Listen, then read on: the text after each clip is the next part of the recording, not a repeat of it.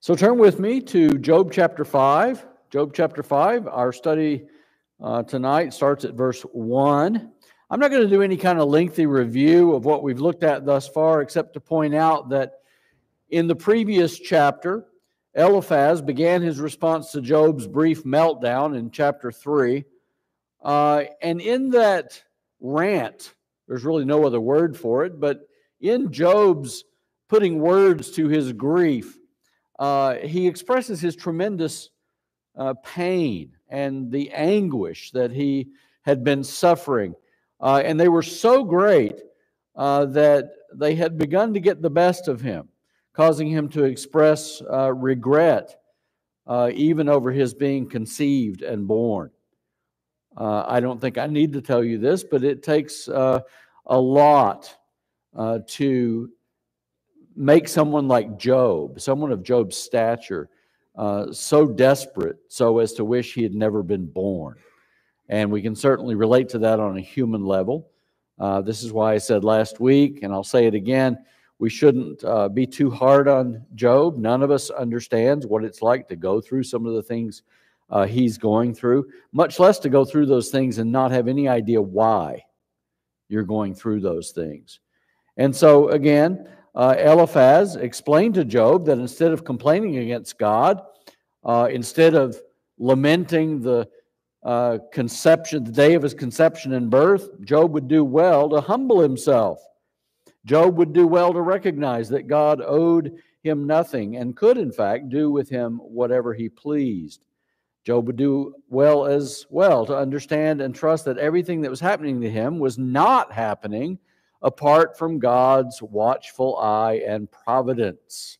Even in this, God is in control. Even in the midst of the chaos, God is in control. Even in the midst of uncertainty, God's in control. And we would do well to remember those things ourselves, wouldn't we not? God is sovereign. God is on the throne even still.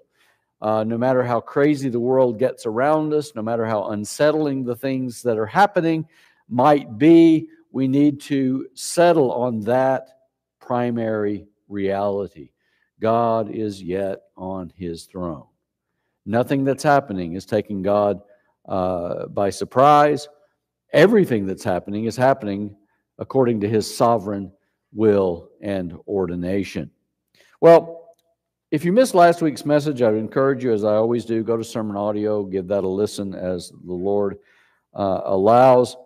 But here in verse 1 of chapter 5, Eliphaz continues and he says to Job, Call now. Is there anyone who will answer you? And to which of the holy ones will you turn? Now, at this point, it's important to remember that Eliphaz and everyone else who knew Job likely believed that it was possible, if not probable, that Job had in some way and to some degree sinned himself into his current predicament. Steve and I were talking earlier today about how that's just our knee jerk reaction. Uh, we talked about this last time from John chapter 9 when uh, the man born blind uh, was about to be healed. And they asked Jesus, whose sin was it? Was it his sin or the sin of his parents that caused him to be born blind? And Jesus said it was neither. Why was he born blind then? So that God's wondrous works might be shown forth for no other reason than God might fetch more glory for himself.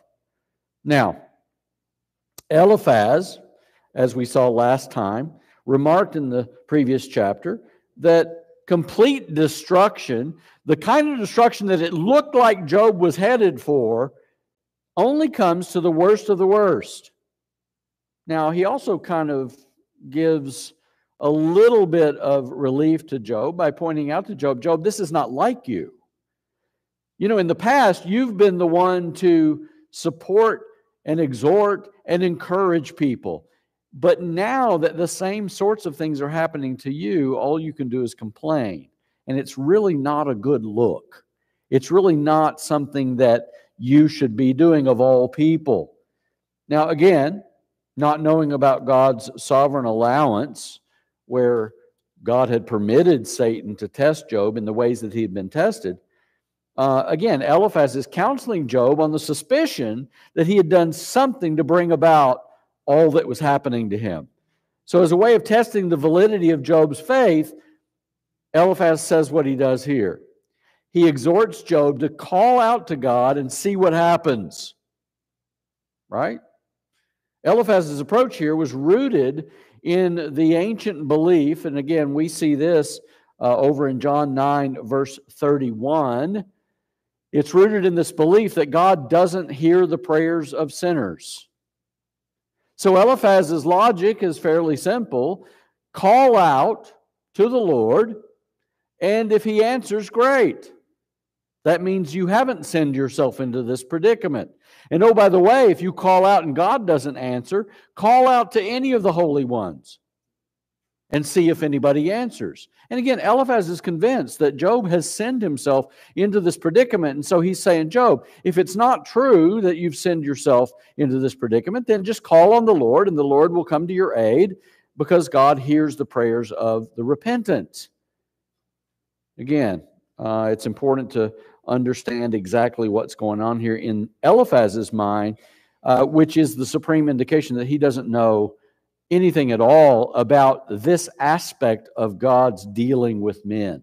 Remember, this is very early on in redemptive history. This is uh, at a time where uh, even a lot of the prophets have not yet spoken. Uh, this is where very little of the word is actually inscripturated at this particular point. And so uh, Eliphaz is kind of in the dark himself. Eliphaz, I doubt that it ever dawned on Eliphaz that God sometimes allows people to be tempted and tried and persecuted and go through all manner of difficulty just because God is trying to prove something about faith and about righteousness.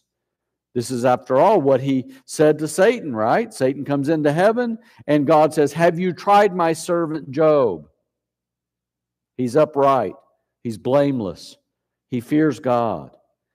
And so Satan, thinking that that's a challenge, says, Well, I can get him to curse you to your face. And the onslaught begins. So Job's experiencing the things he's experiencing, again, unbeknownst to Eliphaz, because God considered Job to be a, an example of righteousness and faith. And again, Eliphaz probably just didn't understand that as we might expect. Incidentally, this phrase, the holy ones, it's likely a reference to the angels uh, who were known, uh, even at this time, for being God's messengers. Uh, but again, Eliphaz has a charge that he's going to lay against Job. Now he gets even more specific. He actually offers four suggestions for the type of sin that Job may have committed leading to his current woes anger, foolishness, or some of your translations might say wickedness, jealousy, and naivete, or simple mindedness. He said, For anger slays the foolish man, and jealousy kills the simple or naive. Now, here's where things get a little tricky from a translational standpoint. There are some scholars who believe that the anger that slaves that slays the foolish man is God's anger, the anger that he pours out on those who are foolish. Others, though, believe that the anger referred to here is the anger demonstrated by the foolish man who is then slain by God on account of both his anger and his foolishness. It really doesn't matter. Because in the end, anger and foolishness are both sins which if unatoned for, will bring the wrath of God upon a, a person, right? So it doesn't really matter if what we're talking about is Job's own anger that's going to kill him, or if his anger and foolishness is going to be his downfall before a thrice holy God. It, it really doesn't matter. And uh, thankfully, commentators don't make that big a deal of it because they have the same idea. Any sin that goes unatoned for will result in the wrath of a thrice holy God. But as for the sin of anger, we have numerous places in Scripture that talk about this. Let me just give you a few. If you're taking notes, you can just jot these down. Proverbs 14 29.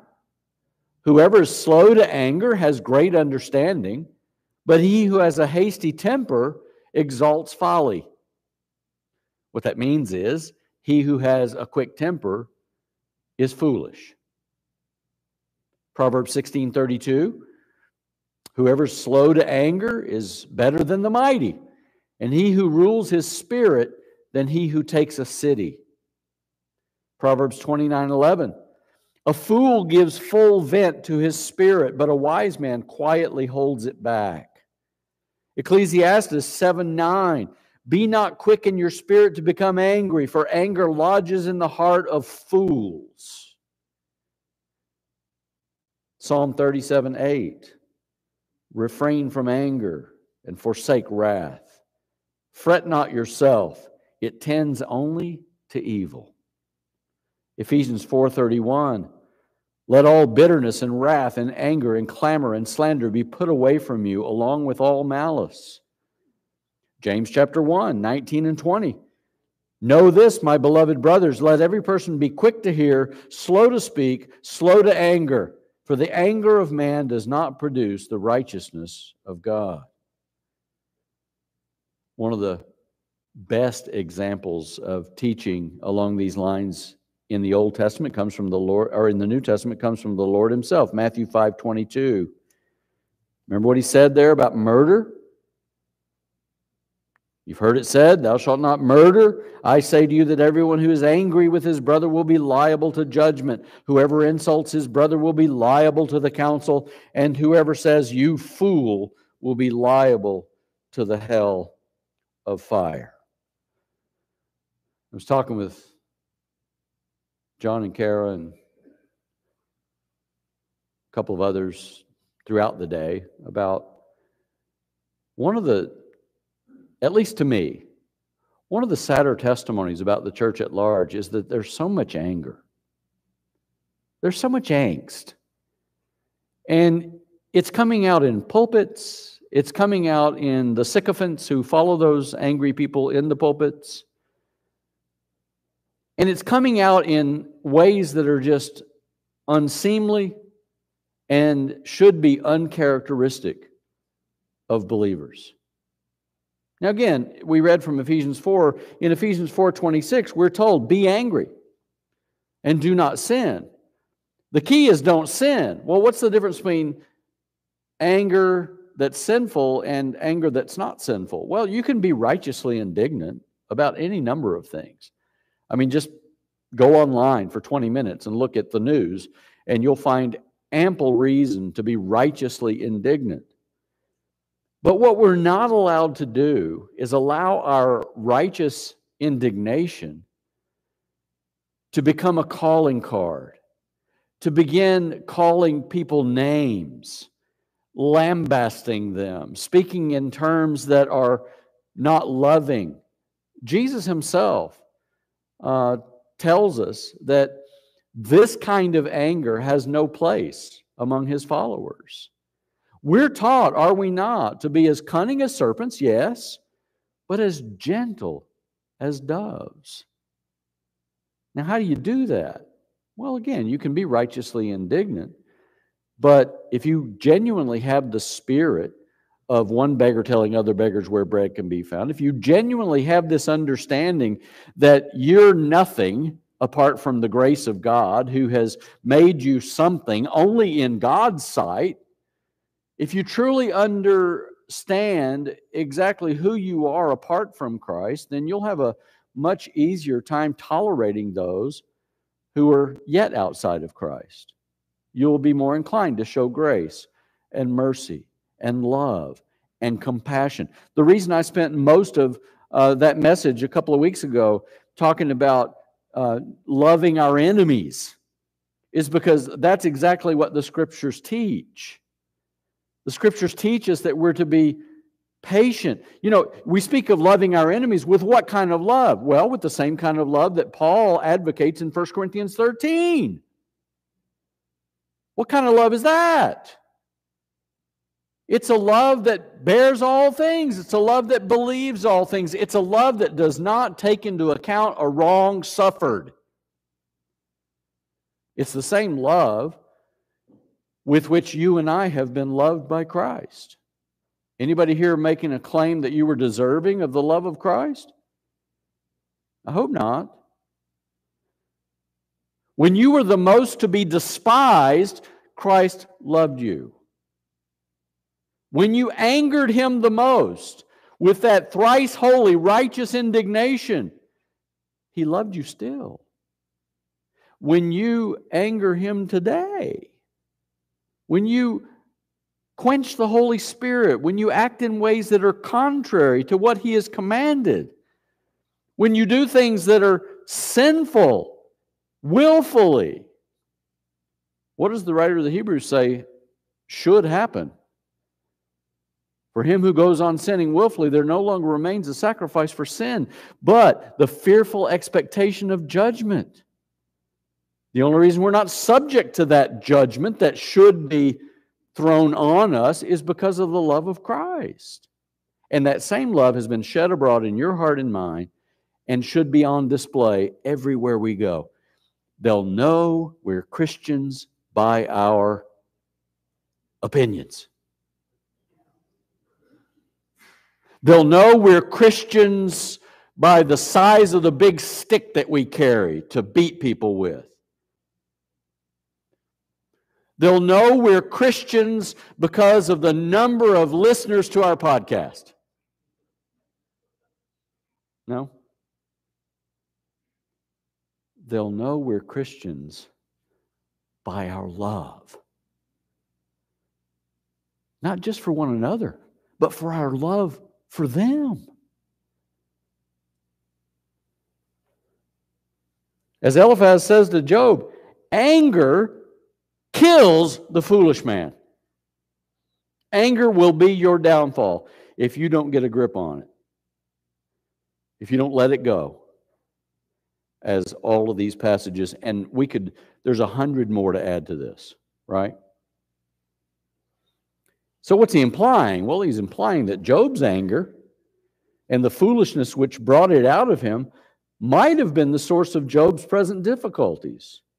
And again, that's a fairly easy assumption, isn't it? One only has to read again what Job said back in chapter 3 to conclude that he's obviously angry with God. I don't know that he would have outright said that, but anytime you go to God and complain to the extent where you're saying, I wish I'd never been conceived, that, that's anger, right? Eliphaz then goes on in the second half of the verse to suggest two more sins that might have played into Job's situation. He says, and jealousy kills the simple.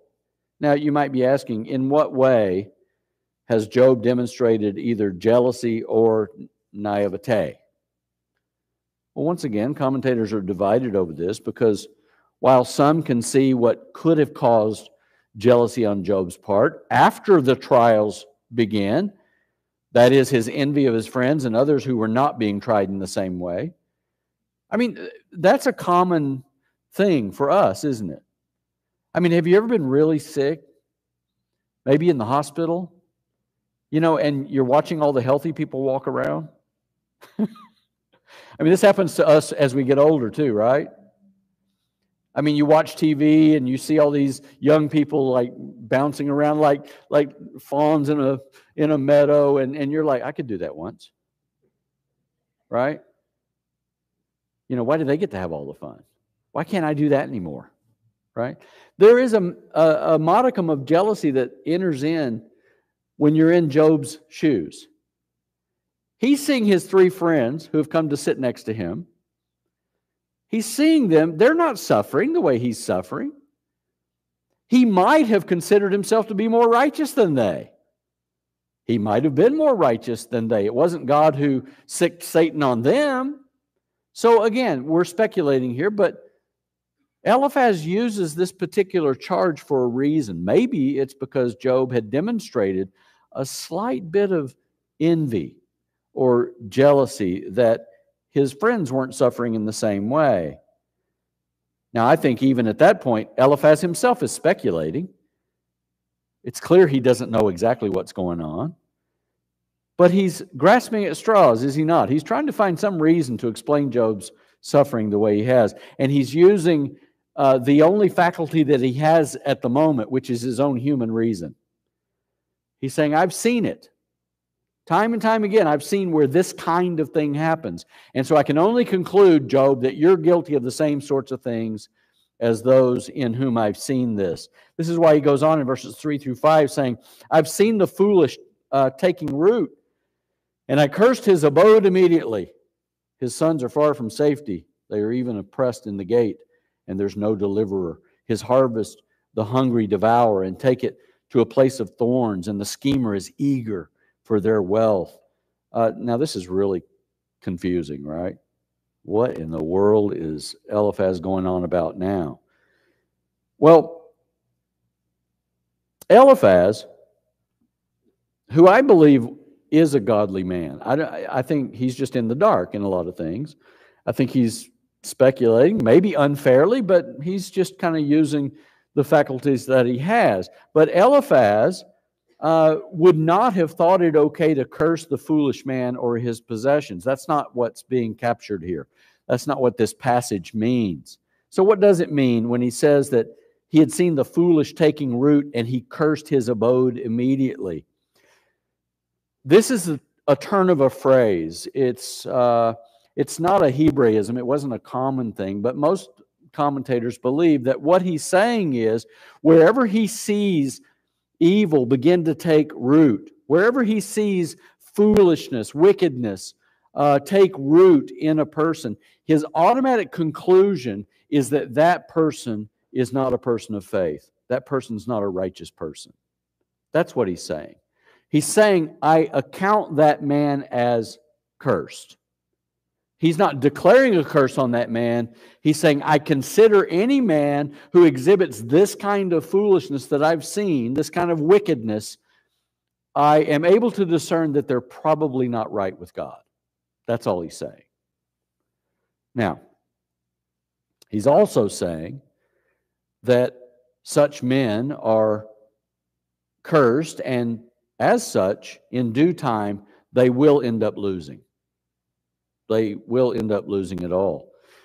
While they continue to prosper in the things that they've secured through their wicked deeds, Eliphaz says their sons are in danger of being persecuted as well.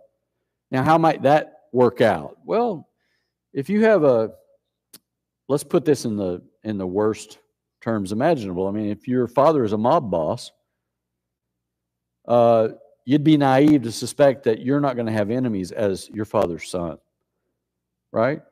We see it happening all the time. You know, if you are wealthy or from a wealthy family uh, and you're fairly well known, I would not drive into Mexico. Why? Because cartels are notorious for swooping up rich people and then putting a bounty on their heads. And, you know, if they don't get the, the ransom, then they do all kinds of really horrible things to the person, right? So, what's going on here is Eliphaz is saying where he's seen this kind of evil take place, it's not just the father who suffers, it's the sons who also suffer. Uh, this reference to being oppressed in the gate, uh, that's a fairly interesting thing to consider. I mean, the gate of the city was where all commerce happened. People passing by, people coming in and out of the city. Uh, this is where all of the last minute business would be taken care of. The gate of the city was so busy that it was customary for courts in the day to set up their court at the gate. And so to say that they're oppressed in the gate means that while everybody else is, is high fiving each other and shaking hands and talking about uh, the old days and whatever old men do at the gate, like the Proverb 31 woman's wife or husband, right? These sons are persona non grata.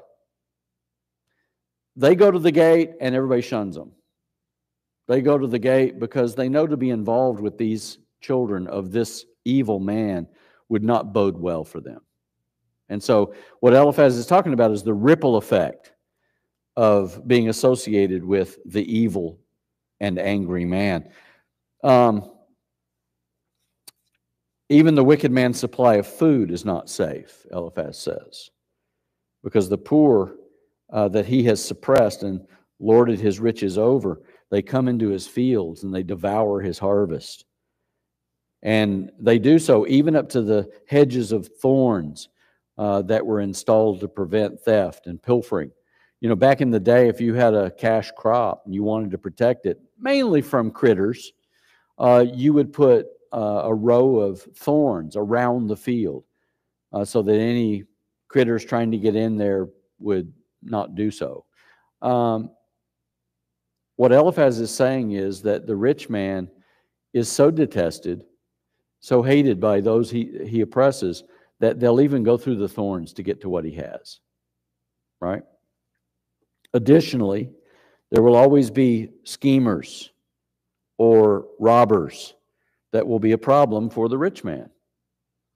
You know, if you're rich uh, and you're in a place where there are enough poor and unprincipled people, you're going to have a problem with robbers. You're going to have a problem with schemers who will try to take whatever portion of your wealth they can get away with. Now, again, it's not clear at this point whether we're talking about an accusation being made against Job. Maybe, or maybe Eliphaz is just speaking in general terms. Maybe he's saying to Job, Job, be careful that this is not you. Because I've seen it time and time again. It doesn't end well, right? Or he might be making an accusation, kind of like Nathan with David. Thou art the man. Job, I'm talking about you. We just don't know. We don't know. But again, whether he's in full blown accusation mode, whether he's just speaking in general terms, it's fairly clear that Eliphaz thought Job had done something. In fact, Eliphaz's next words are fair, fairly telling.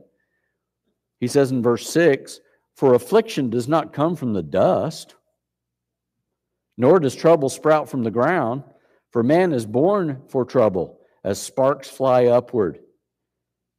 Basically, Eliphaz is reminding Job that the kind of suffering he's enduring just doesn't come out of thin air. And again, what Eliphaz knows about the one true God is that God punishes wickedness. God punishes wickedness. Job, you're obviously being punished, ergo, you must be wicked. Right? Because God just doesn't willy nilly, again, unbeknownst to Eliphaz, God just doesn't willy nilly cause such suffering to take place. We know better, though, don't we? We know that oftentimes the things that we endure, the trials and the persecutions and all of the difficulties that we face, a lot of times they're not born of sin at all. A lot of times it's just God's way of growing us. It's God's way of molding and shaping us more into the image of Christ. You know, the health and prosperity preachers don't like that because they insist that God doesn't want anyone to suffer. We'll tell that to Job, first of all, right?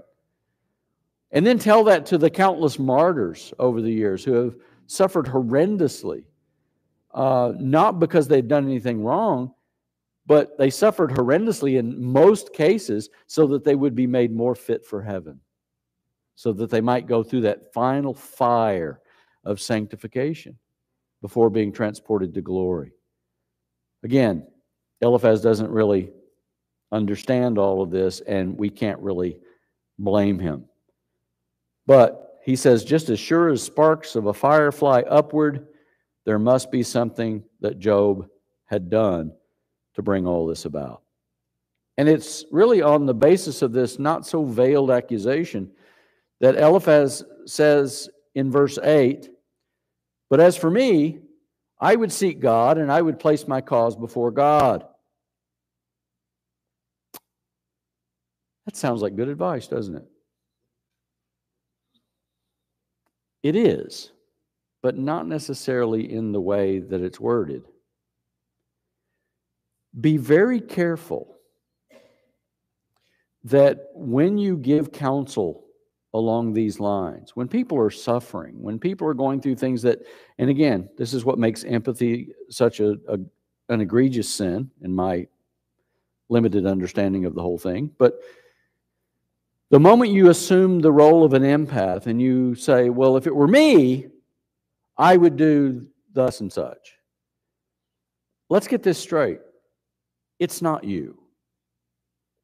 And as well meaning as your counsel might be, it would be better worded to say, look, whenever we experience trials and suffering, we would do well to go to the Lord and to seek his face and to ask for him to intervene. Don't do it like Eliphaz does. And I double checked and triple checked the language here. And this is exactly what Eliphaz is doing. He's coming across as sanctimonious. Well, Job, if I were in your shoes. But wait a minute. Eliphaz had not lost all of his livestock. Eliphaz didn't lose his sons and daughters. Eliphaz didn't have a, a case of boils all over his body. So, I mean, it's kind of disingenuous, is it not, for Eliphaz to say, well, if it were me, then I would seek the face of the Lord. If it were me, I would place my cause before God. Be careful. Let that be kind of a, a practical outworking of this passage. Now, I'm not going to ascribe nefarious motives to Eliphaz. You know, I, I think he meant it in the helpful way. I think he meant it to be encouraging to his friend Job. After all, we don't see any backlash from this, right? As a matter of fact, we're going to see, Lord willing, next week that nothing Eliphaz has said to this point makes even a dent in Job. Because, yep, you got it. Next week, chapter 6, Job's just going to continue with his pity party, right? But that said, uh, I think, you know, the simple answer uh, when we counsel others who are suffering is simply to say, uh, I feel really bad for what you're going through, but God. God has a purpose. God can apply the balm of Gilead. God can soothe you, comfort you, heal you. Trust in that God. We should all trust in that God because he is God. Now, the reason I think Eliphaz had pure motives is because of the way he goes on from this point to describe God. He goes on to encourage Job by reminding him of all of God's precious perfections, all of who God really is. Let's just read it beginning at verse 9. I'm going to be adding a bit of commentary as required uh, for clarity's sake. But Eliphaz reminds Job that it's their God who does great and unsearchable things, wonders without number. He gives rain on the earth and sends water on the fields, so that he sets on high those who are lowly and those who mourn are lifted to safety. No more comforting words can be spoken to the one who's suffering. God will take pity on you. God will raise you up when you're down. God will lift you to safety. This reminded me of what Jesus said to his disciples again in his Sermon on the Mount. Matthew 5, 3 and 4. Remember what Jesus said? He said, Blessed are the poor in spirit, for theirs is the kingdom of heaven. Blessed are those who mourn, for they shall be comforted. That's a guarantee, folks. Now, as, as Pastor John pointed out and I kind of piggybacked on that during our study of the Sermon on the Mount years ago. These things are not uh, prescriptive. The Beatitudes are not prescriptive, they're descriptive. Meaning, if you are a child of God, you'll be able to understand this. You'll be able to acquire these truths, these promises for your own. Right? The unbeliever has no understanding of these things. And the unbeliever has no business latching onto these promises as their own because these are things that are characteristic of all who believe. Those who believe are going to be poor in spirit. The kingdom of heaven is theirs. Those who mourn will be comforted. Verse 12. Speaking of God still, he says he frustrates the plotting of the shrewd so that their hands cannot attain success. He captures the wise by their own shrewdness, and the advice of the cunning is quickly thwarted. By day they meet with darkness and grope at noon as in the night. Now stop there. What does Eliphaz mean when he says that those who are wise in their own estimation meet with darkness and grope at noon as in the night. This is believed to be a reference to the innate blindness of the unredeemed. The unsaved man, I mean, he might, um, he might have some modicum of success throughout his life, but not true success. The unredeemed man might hit on certain things that will bring him riches and glory and fame, but the unredeemed man is still groping around. In other words, they're like John chapter 3. Remember what Jesus said to Nicodemus about those who hate the light? They're in the darkness. And whatever success they might find in their lost condition will only be temporal.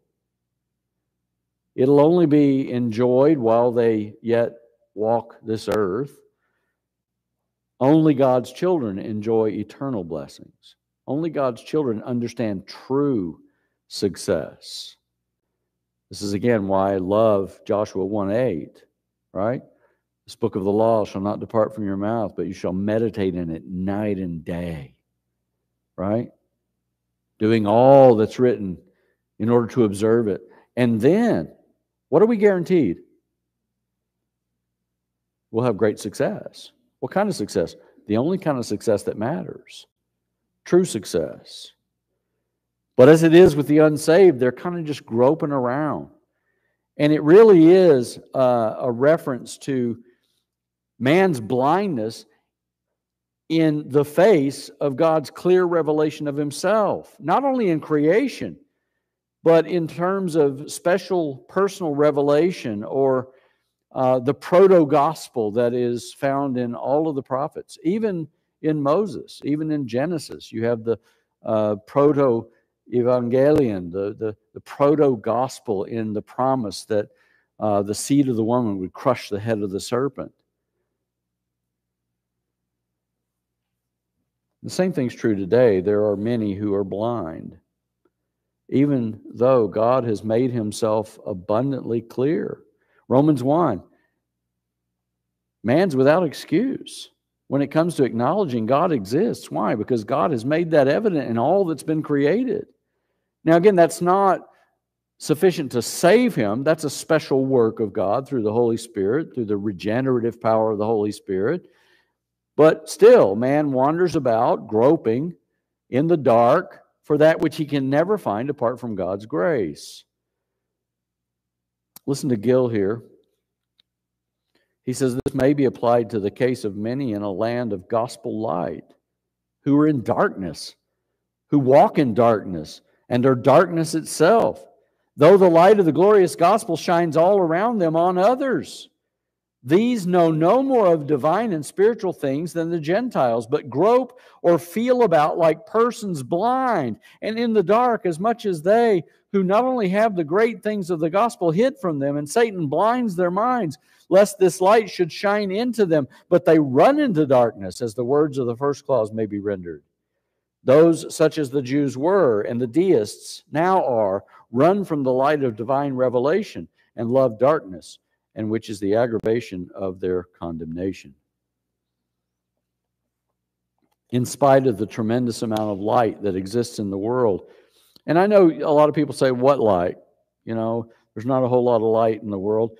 Well, there is. There's a lot of gospel light in the world.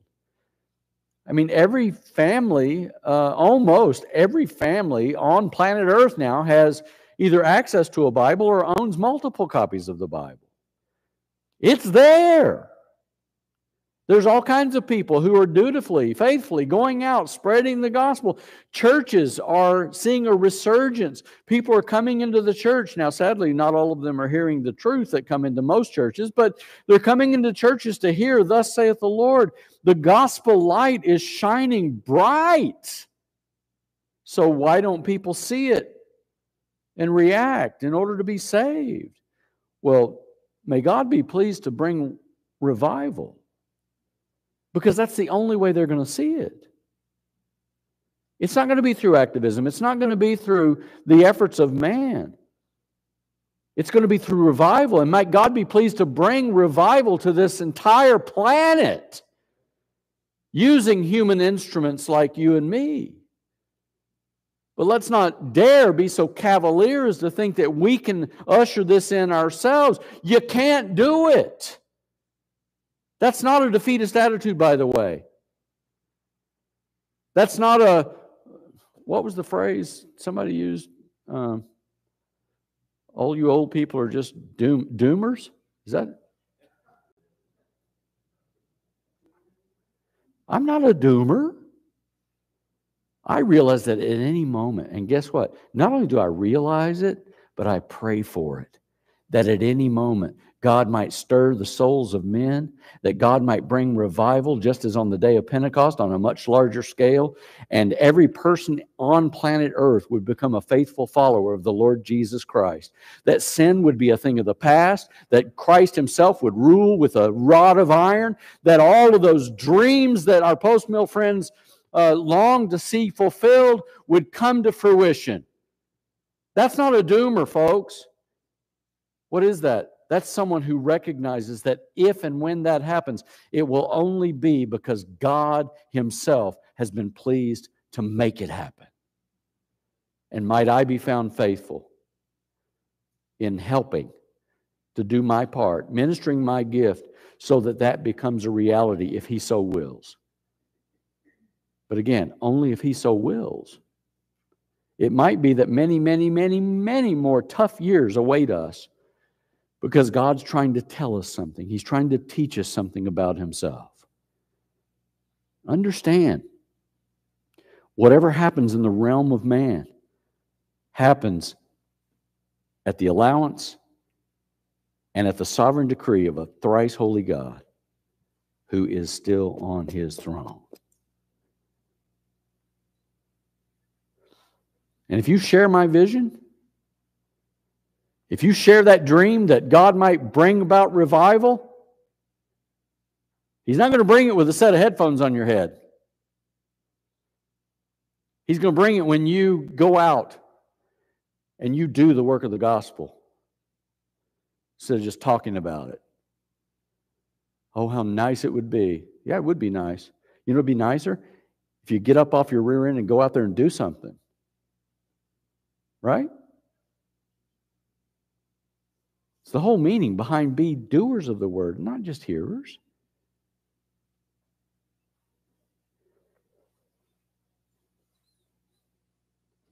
Rant off. Verse 15. But he saves from the sword of their mouth and the poor from the hand of the mighty. The sword of the mouth. Oh. The wicked and the shrewd are able to lead many astray, some to their eventual doom, with nothing more than their mouths. You know why James said that the tongue is the most powerful instrument in your body? Because it's true. You can do more harm with this than you can do with the most able weapon you can craft. And the wicked man does just that. They're smooth talkers. They've learned to use their tongues as weapons. And as I thought about this, I was reminded of Paul's warning to Titus in Titus 1 10 and 11. Remember what he wrote there? For there are many rebellious men,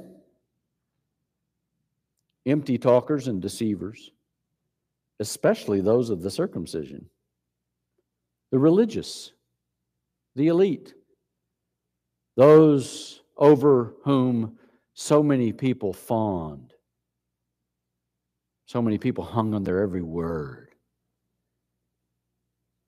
especially those of the circumcision, who must be silenced because they're upsetting whole families, teaching things they should not teach for the sake of sordid gain. As Eliphaz said to Job here in our text, the Lord is able to spare his children from this kind of thing. And aren't you grateful for that? Aren't you grateful that there is no substitute for the Word of God?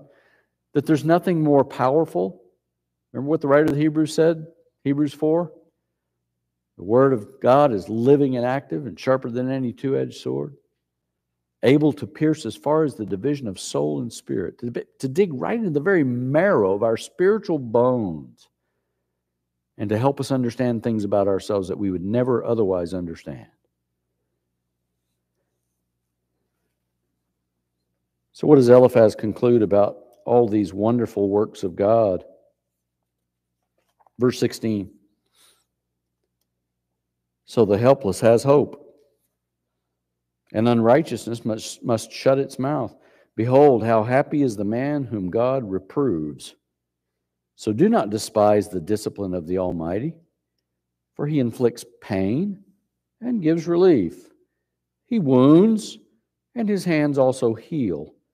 From six troubles he will deliver you. Even in seven, evil will not touch you. Those are meaningful numbers, seven being the number of perfection. It's almost like the 70 times seven passage. You know, Peter asked, How many times should I forgive my brother when he sins against me? Seven times? No, 70 times seven, meaning completely, utterly. Same thing was used back then. In famine, he will redeem you from death, and in war, from the power of the sword. You'll be hidden from the scourge of the tongue, and you will not be afraid of violence when it comes.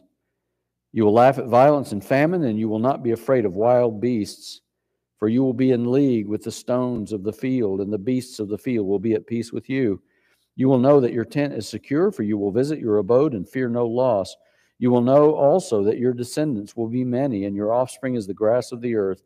You'll come to the grave in full vigor, like the stacking of grain in its season. Behold, this we have investigated it, and so it is. Hear it and know it for yourself. Eliphaz says these are time tested, proven arguments. We've seen God act in these ways time and time and time again. Not only have we seen it, we've investigated it. We've looked into it, and we've determined that these things are true. Now, Job, believe it for yourself. In other words, if you believe these things to be true, Job, you'll not react the way you are to the suffering you're enduring. Even if your suffering is brought on by sin, believe these things, and it will be well with you. Eliphaz knew firsthand that God was worthy he knew that God was worthy to be praised, worshiped, and he knew that God could be counted on to assist his children, even Job, if Job would only place his trust in him. And Job responded by saying, Yep, you're right. I just temporarily forgot what I know to be true. Job says, Now I'm going to pull myself up by my bootstraps. I'm going to get a grip and I'm going to heed your wonderful counsel. Is that what happened? Not quite. You can read ahead, but Lord willing, again, next week we'll, we'll look at his response in chapter 6.